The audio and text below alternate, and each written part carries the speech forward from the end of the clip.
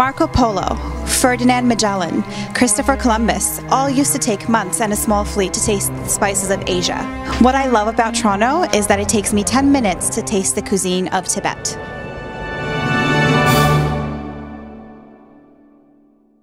Hey guys, today we're in Parkdale, Toronto to try out a local Nepalese restaurant, Norling. Today we'll be having the beef momos, chili chicken, and blood sausage. My name's Eddie. And I'm Esin. And here's what, What we, we dig. dig.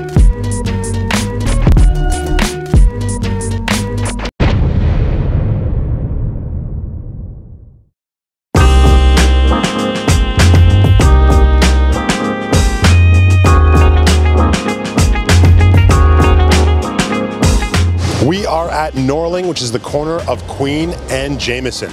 Now, Norling is a traditional Tibetan restaurant that has a chef that was trained in Tibet growing up. In this area, lots of Tibetans, and also uh, nowadays the Tibetan food is very popular. I think so. So, uh, also I want to advertise the Tibetan cultures and Tibetan food. So that's the reason that I start with the Tibetan foods. They cook a lot of traditional home cooked foods there. They cook momos, they cook a lot of stuff you'd expect to get from a Tibetan restaurant, but it really has that home cooked feel. The owners have that ideal Canadian story of being so well traveled. They went from Tibet to India to Halifax, then took over this restaurant a few years ago to serve Tibetan food. So if you're in the Parkdale region and you're looking on going for a bit of an adventure to Tibet, try out Norling and enjoy your food. What are we having today? Uh, we're having um, beef momo. The preparation is first we have to rolling the dough, leave it for a while. Meantime, we prepare the meat, ground beef, some onions, some cilantros, and some salt. Mix it well together, and then we make it. Awesome. And then steam it for 10 minutes, so ready to serve. So if you're looking to try the momos, just as it was recommended to us by the chef here, make sure you add, you use some of the chili sauce, the salad that it comes with, as well as a little bit of soy sauce, um, and just put it right into your mouth hole. It, you, it will pay off. Their momos are a great size, super juicy, and the, the meat just created this hearty symphony between the outer shell and the stuffing. The next dish is sausage. Uh, it's called blood sausage, Tibetan blood sausage. It's very uh, popular too. First, we have to put some flours and some rice uh, and ground beef and some blood and mix it all together. Then fill it in the casing and then steam it for 35 minutes. Okay. So it's ready.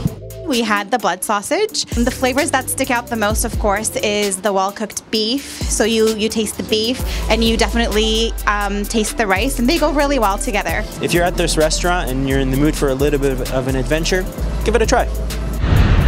The last thing we're doing is chili chicken. We have different kind of spicy level, medium, mild, and spicy. And first thing we have to bring the chicken, Thai chicken. Uh, just cut it small pieces.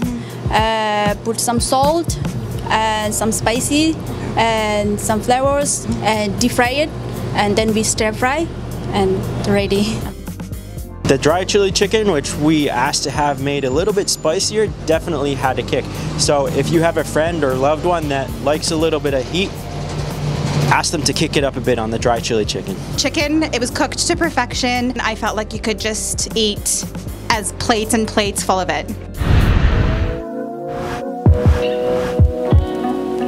So when we got to Norling, we asked the owners, what does Norling mean? And the explanation they gave, Nor means precious and Ling means together. So literally translated, Norling means everything precious together. How's that for food for thought? That's been this episode of What We Dig. If you like us, hit that like button. If you want to see more of us, hit that subscribe button. You can also check out our website, which is www.whatwedigtoday.com, where you can see a map of Toronto. Click on the link and watch a video directly. We also have a podcast that's on all major podcast platforms where you can hear extended interviews with chefs and owners. Otherwise, my name's Laird. I'm Eddie. And I'm Esin, and we'll see you next time.